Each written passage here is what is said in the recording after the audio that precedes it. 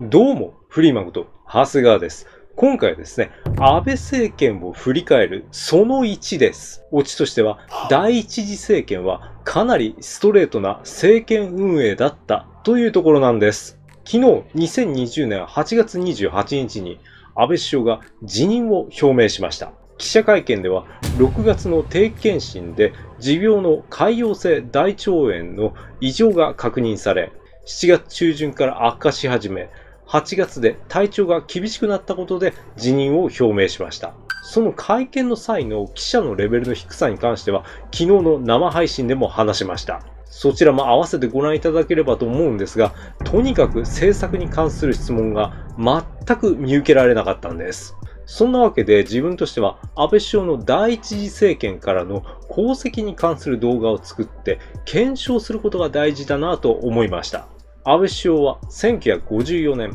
昭和29年、9月21日生まれの65歳です。成形小中高校を経て、成形大学法学部政治学科を卒業しました。成形大学卒業後、語学留学を経て、南カリフォルニア大学に留学をしました。しかし、在籍はしたんですが、学士の資格は取っていません。その後、1979年4月に帰国後、神戸製鋼に入社し、ニューヨーク事務所、加古川製鉄所、東京本社で3年間勤務しました。1982年から安倍首相のお父様である安倍晋太郎元外務大臣の秘書を務め、1991年に父の晋太郎氏が亡くなった後、1993年に衆議院議員として初当選をしました。以来現在に至るまで9回連続当選をしています。内閣に入るようになったのは2000年の森内閣の時点です。この時、内閣官房副長官に就任し、小泉内閣でも同職で再任されました。安倍首相が注目されたのは2002年の小泉内閣の時です。安倍首相は内閣に入る前から北朝鮮の拉致問題と関わっていました。そして2002年の小泉純一郎元総理が訪朝した際に、拉致被害者の5人を安倍首相の起点で取り返したんです。当初、拉致被害者は一時帰国という扱いだったんです。しかも、小泉元総理はそのために1兆円を払うという形でした。そこで安倍首相が反対を唱えて、5人の拉致被害者を取り返したという経緯があります。このことがあってから安倍首相は注目を浴び、2006年に1度目の首相に就任しました。第一次政権では美しい国、戦後レジーム、日本語で体制からの脱却を掲げて日本の国づくりを行おうとしました。要するに第二次政権以降と同様、今の憲法を変えることが一番大きい目標だったんです。リアルタイムであの当時を見ていた自分からすると、第一次政権は防衛、外交、教育の側面が強いです。まず防衛なんですが、それまでは防衛庁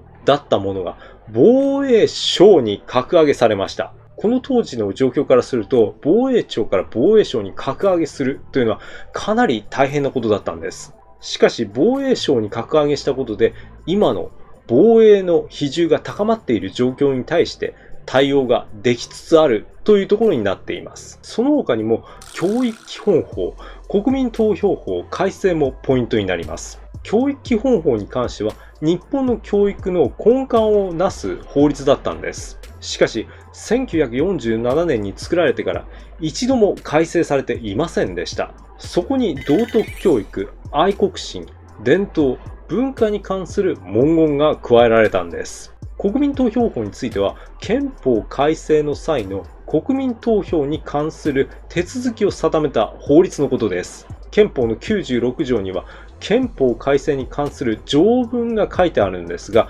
実際の手続きに関する法律はありませんでした。そこで第一次安倍政権では、国民投票法で憲法改正の手続きに関する決まりを作りました。外交面においては価値観外交を打ち出したことが大きいです。これは第一次安倍政権において、当時外務大臣だった麻生太郎副総理が自由と繁栄の子という形で打ち出したものです。自由と繁栄の項は日本から東南アジアを通り、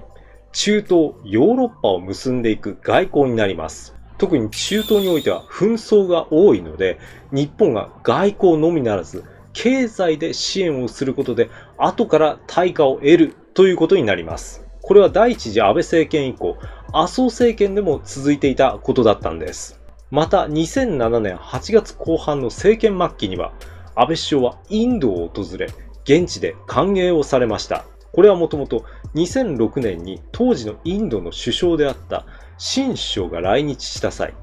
安倍首相とある約束をしていたんです。それは毎年交互に両国の首相が相手国を訪問するというものだったんです。そのため翌年の2007年8月後半に安倍首相はインドを訪れ、日本とインドが外交、経済、